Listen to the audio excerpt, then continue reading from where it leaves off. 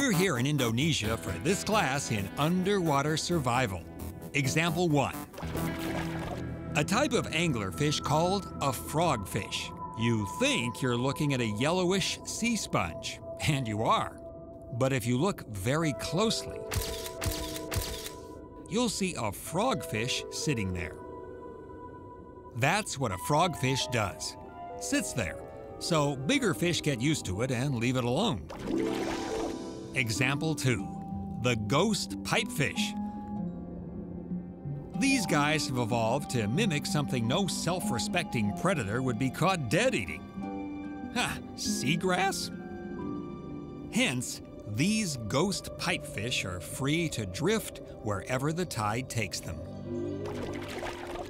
Example 3. The leaf scorpion fish. A similar strategy to the ghost pipefish. The leaf scorpionfish has evolved itself to look like a leaf on the sand. Example 4. The cockatoo wasp fish. A final example of this scheme. Not only has the cockatoo wasp fish evolved to look like a dead leaf, it's learned to rock back and forth like a leaf would.